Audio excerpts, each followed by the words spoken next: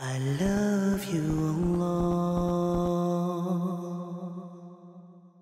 Four signs that you love Allah and Allah loves you back. Allah Azza wa Jal, He said in the Quran, O believers, whoever among you abandons his faith, anyone who leaves his faith, Allah will replace them with others, other people, people that He loves and they love Him.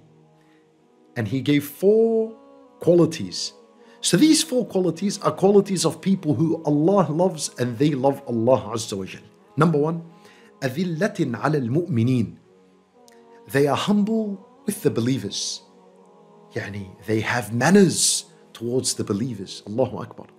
My brothers and sisters in Islam, if you don't have manners among one another, then that is not true love for Allah Azza wa Jal. If you love Allah truly, and if you want to know if Allah loves you back, number one sign after obeying Allah Azza wa Jal is that you are humble towards believers. Number two, أعزة على الكافرين, firm towards the disbelievers. You know, firm. You must be firm towards the disbelievers. You know, look, look, I give you an example.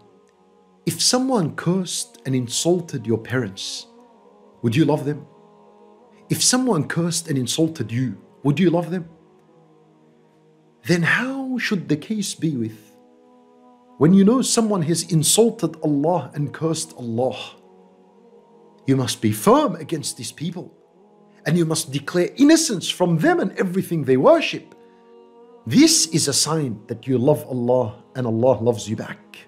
And one of the ways to show firmness towards the disbelievers is to implement your deen correctly and uphold your religion and follow the laws of Allah subhanahu wa ta'ala.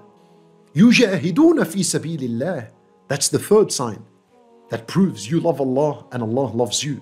That you struggle in the way of Allah subhanahu wa ta'ala. والجهاد في سبيل الله is many ways, is many forms. One of its forms is to jihad, jihadun nafs, to struggle against your own self. Right?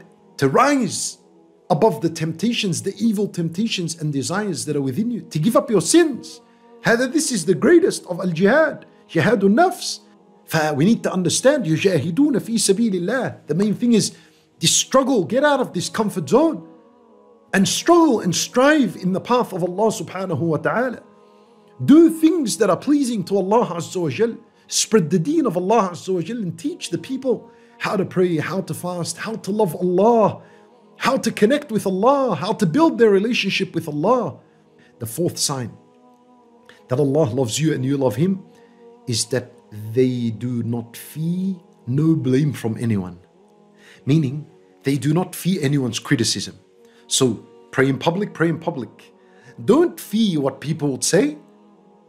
A bead at work, keep it. Don't shave it because of work.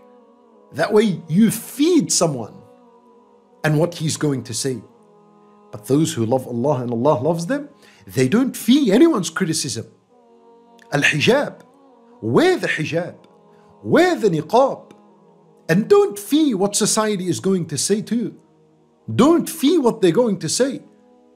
The fear of other than Allah subhanahu wa ta'ala is of three types. There is a fear of shirk, if you fear someone believing that fearing him will benefit you on the day of judgment, that shirk. A person becomes a kafir. He left Islam. There is a fear that is haram. And this is what we're talking about. If you leave an obligation out or you commit a sin out of fear of someone, then that fear is haram. And it decreases a person's tawheed of Allah subhanahu wa ta'ala. Don't fear the criticism of people if you're upon the truth and calling to the truth and doing that which Allah Azza is pleased with. So these four qualities is a sign that you love Allah and Allah Azza loves you in return.